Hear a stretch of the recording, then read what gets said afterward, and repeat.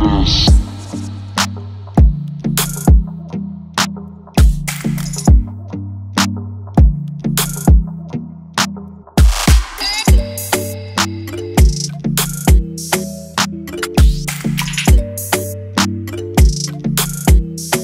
it easy on the track, nigga.